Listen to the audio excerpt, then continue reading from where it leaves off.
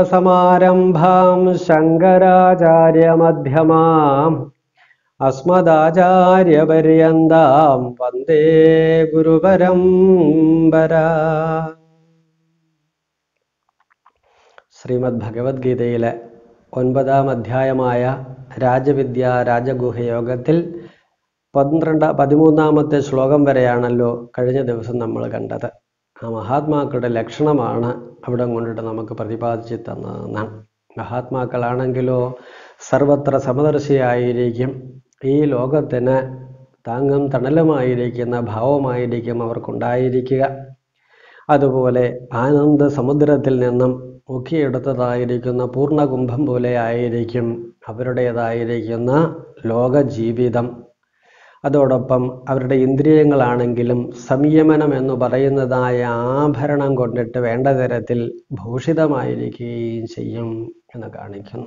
അത്തരത്തിലുള്ളതായ ഗുണഗണങ്ങളുള്ളതായിരിക്കുന്ന ആൾക്കാർ വാസ്തവത്തിൽ പ്രത്യക്ഷ ഈശ്വരന്മാർ തന്നെയാണ് എന്നും ഈശ്വരോ ഗുരുരാത്മേതി മൂർത്തിഭേദ വിഭാഗിനെ വ്യോമവത് വ്യാപ്തദേഹായ ദക്ഷിണാമൂർത്തയെ നമ. ഭഗവാന്റെ തന്നെ സ്വരൂപാന്തരങ്ങളാണ് അവർ. അവർ ലോകത്തിന് ആശാവഹമായിരിക്കുന്ന കാര്യങ്ങളെ നിർവഹിക്കുന്നവരാണ് എന്നും കാണിച്ചു തരികയാണ്. തുടർന്നും സതതം കീർത്തയന്തോ മാം യദന്തശ്ച ദൃഢവ്രതാഹ. നമസ്യന്തശ്ച മാം ഭക്ത്യാ നിത്യയുക്ത ഉപാസതേ. എന്നും ഭഗവാൻ ഇവിടെ നമുക്ക് വ്യക്തമാക്കി തരുന്നു ദൃഢവ്രതാഹ ദൃഢതരമായിരിക്കുന്ന വ്രതസമാനമായിരിക്കുന്ന ഭാവത്തോടു കൂടിയതായ മറ്റു ചിലര് സതതം. എല്ലായ്പ്പോഴും മാം കീർത്തയന്തഹ എന്നെ കീർത്തിക്കുന്നവരായിട്ടും യദന്തഹ പ്രയത്നിക്കുന്നവരായിട്ടും ഭഗതിയാ മാം നമസ്യന്തി. ഭഗതിയോടു കൂടിയിട്ട് എന്നെ സദാപി നമസ്കരിക്കുന്നവരായിട്ടും നിത്യയുക്താഹ നിത്യം എന്നോട് ചേർന്നവരായിട്ടും മാം ഉപാസതയെ എന്നെ ഉപാസിക്കുന്നു എന്നും കാണിക്കുക അപ്പോൾ എല്ലാ സന്ദർഭത്തിലും ഭഗവതഭിമുഖമായിരിക്കുന്ന കീർത്തന ഭജനാദികളെ ചെയ്യുകയും ഭഗവത് ആകാരവൃത്തിയെ ചെയ്യുകയും താനുമായിട്ട് സദാപി സമ്മേളിച്ചു കൊണ്ടിരിക്കുകയും അത്തരത്തിൽ ജീവിതത്തെ ഒരു ഉപാസനയാക്കി നിർവഹിക്കുകയും ചെയ്യുന്നതായ ആൾക്കാർ ലോകത്തിലുണ്ട്. അതാണ് മഹാത്മാക്കളുടെ ലക്ഷണം അത് തന്നെയാണ് ഇവിടെയും കാണിക്കുന്നതാണ്. ശാന്തോ മഹാന്തോ നിവസന്തി സന്തോ വസന്തവത ലോകഹിതം ചരന്ത തീർണാസ്വയം ഭീമഭവാർണവം ജനാൻ അഹേതുന അന്യാനപി താരയന്ത എന്ന് മഹാത്മാക്കളെ കുറിച്ചിട്ട് ഭഗവാൻ ശങ്കരാചാര്യ സ്വാമികൾ നമ്മളോട് പറയും. ശാന്തന്മാരാണ് മഹത്തായ ആശയത്തോടു കൂടിയവരാണ് ഭീമമായിരിക്കുന്ന സംസാര സാഗരത്തെ സ്വയമായിട്ട് നീന്തി കടന്നവരാണ് ലോകത്തെയും ആ സംസാര സാഗരത്തിൽ നിന്ന് ഉത്തീർണരാക്കി തീർക്കണമെന്നുള്ള തരത്തിൽ സദാഭിബദ്ധ ശ്രദ്ധരായിരിക്കുന്നവരാണ്. വസന്ത ഋതുവിനെ പോലെ ലോകത്തിൽ സദാഭി സഞ്ചരിച്ചു കൊണ്ടിരിക്കുന്നതായ സ്വഭാവവാന്മാരുമാണ് അവർ എന്ന് കാണിക്കുക.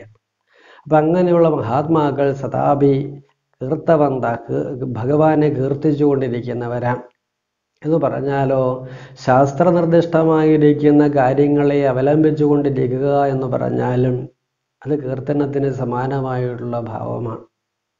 അപ്പം കാര്യങ്ങളെ നിരന്തരമായിട്ട് അനുഷ്ഠിക്കുന്നതോടു കൂടിയിട്ട് അത് ലോകത്തിന് പങ്കുവെച്ച് കൊടുക്കുകയും ചെയ്യുന്നതായ സന്ദർഭം ആ കീർത്തന ഭജനയ്ക്ക് അനുസൃതമായിരിക്കുന്ന ഭാവമാണ് ശാസ്ത്രവിചാരത്തോടു കൂടിയിരിക്കുന്നതായ സന്ദർഭം.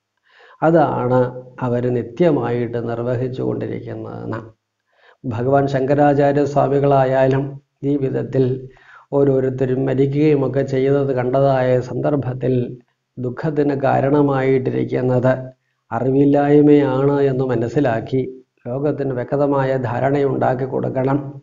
പരമാർത്ഥ ബോധത്തെ വേണ്ട തരത്തിൽ ആശ്രയിക്കുകയും ലോകത്തിന് ബോധ്യപ്പെടുത്തി കൊടുക്കുകയും ചെയ്യണമെന്നുള്ളതായ ആ ഭൂതാന ജിഗ്രക്ഷ കൊണ്ടിട്ടാണല്ലോ ചെറുപ്പത്തിൽ തന്നെ സന്യസ്ത ജീവിതത്തിന് ആഗ്രഹിക്കുകയും ഗോവിന്ദപാദ ആചാര്യരുടെ അടുത്ത് പോയിട്ട് ശാസ്ത്രമൊക്കെ വേണ്ട തരത്തിൽ പ്രോജ്വലിപ്പിക്കുകയും ചെയ്തതിന് ശേഷം ഭാരതത്തിലുള്ള ഉടനീളം സഞ്ചരിച്ചുകൊണ്ട് ലോകോത്തരമായിരിക്കുന്ന പ്രവർത്തനത്തെ ചെയ്യുകയുണ്ടായിട്ടുള്ളത്. അപ്പം അതുകൊണ്ട് അത്തരത്തിലുള്ളതായ ഒരു ചേതോവികാരമാണ് ദുഃഖനിവൃത്തിക്കും സുഖപ്രാപതിക്കും അവശ്യം ആവശ്യമായിരിക്കുന്നത്. അതുകൊണ്ട് പ്രഭുതയെ ആശ്രയിക്കുക പ്രഭുതയെ കീർത്തിക്കുക പ്രഭുതയെ വേണ്ട തരത്തിൽ നമ്മളിൽ തന്നെ ഹൃത്തടത്തിൽ നിർത്തക്കത്തക്ക തരത്തിലുള്ളതായ ശാസ്ത്ര വിചാരത്തെ നിർവഹിക്കുക ജപം മുതലായിരിക്കുന്ന കാര്യത്തെ വേണ്ട തരത്തിൽ നിർവഹിക്കുക. അത്തരത്തിലുള്ളതായ നിർവഹണത പടു നിർവഹണ പടുതയെ ചെയ്തതിന് ശേഷം വേണം. ഭൂസ്പർശം തന്നെ നമ്മൾ ചെയ്യാൻ ഭൂമിയിലുള്ളതായ വ്യാപാരങ്ങൾ ഏർപ്പെടുന്നതായ സന്ദർഭത്തിൽ അത്തരത്തിലുള്ളതായ വിശേഷമായ വൃത്തിവിശേഷത്തോടു കൂടിയിട്ട് വേണം നമ്മൾ പ്രവർത്തിക്കാൻ. അതല്ലെങ്കിലോ വസന്ത ഋതുവിനെ പോലെ ഈ ദൃശ്യമായിരിക്കുന്ന ഭാവനയെ അവലംബിക്കാതെ കണ്ടിട്ടാണ് നമ്മൾ പ്രവർത്തിക്കണമെങ്കിൽ നമ്മളിൽ മോഘാശ മോഘകർമാണ ദൃശ്യമായിരിക്കുന്ന മൗഢ്യം ബാധിക്കാനിടയാവും. രാക്ഷസികമായിരിക്കുന്ന സ്വഭാവം നമ്മൾ ഉണ്ടാകാനിടയാവും ആസുരികമായിരിക്കുന്ന വൃത്തിവിശേഷം നമ്മൾ ഉണ്ടാകാനിടയാവും ഇതിന്റെ ബാധയിൽ പെട്ടുകഴിഞ്ഞാൽ ആ വന്യജീവികളുടെ എടുത്ത് അകപ്പെട്ടതുപോലെ ക്ലേശഭൂയിഷ്ടമായിരിക്കുന്ന കാര്യങ്ങളായിരിക്കും ജീവിതത്തിൽ അനുസ്യൂതമായിട്ട് നമുക്ക് അനുഭവിക്കേണ്ടതായിട്ട് വരുന്നത്.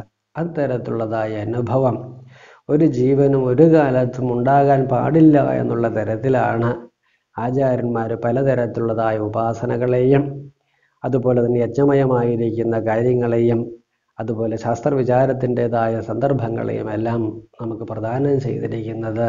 അതുകൊണ്ട് അത്തരത്തിൽ ഉപസ ഉപാസിക്കുന്നവരും ലോകത്തിലുണ്ട്. അവരും സംസാരത്തിന്റെതായ പാരാവാരത്തെ ദൂരീകൃതമാക്കി തീർക്കുകയും കരതലാമലകം പോലെ ആനന്ദതുന്ദലമായിട്ട് ലോകത്തിൽ ആനന്ദത്തെ അനുഭവിച്ചു കൊണ്ടിട്ട് ജീവിക്കുകയും ചെയ്യുന്നു എന്ന ഈ സന്ദർഭത്തിൽ നമുക്ക് കാണിച്ചു തരികയാണ് ചെയ്യുന്നത്. ബാക്കി ഭാഗം നമുക്ക് അടുത്ത ദിവസമാകാം. ഹരിയോ ഇതുപോലെ നിങ്ങൾക്ക് ഉപകരിക്കാവുന്ന വീഡിയോകൾ ലഭിക്കുവാൻ സബ്സ്ക്രൈബ് ബട്ടൺ പ്രസ് ചെയ്യുക.